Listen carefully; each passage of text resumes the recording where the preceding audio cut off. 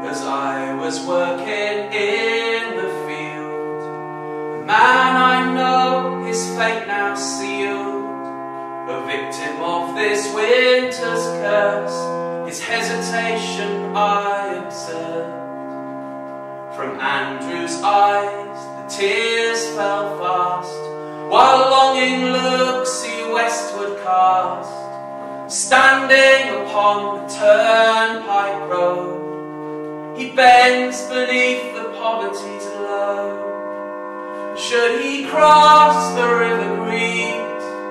Is there a choice? Could he retreat? No, to the workhouse he must go, a God-fearing man, fallen low.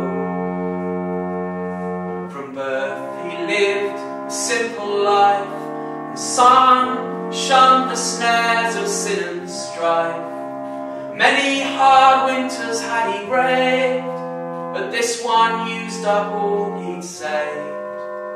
When age upon his frame did fall, he with his daughter went to dwell.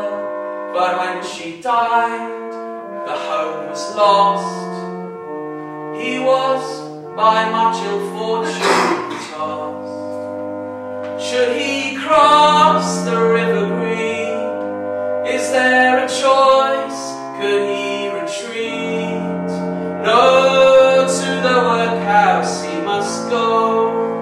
a God-fearing man, fallen low.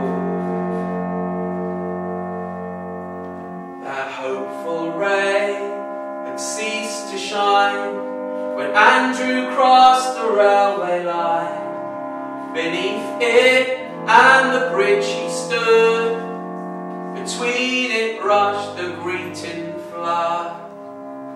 Without a home, without a friend, his life must as a pauper end.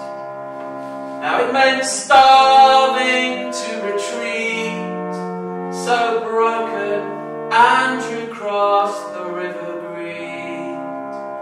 Should he cross the river Greet? Is there a choice? Could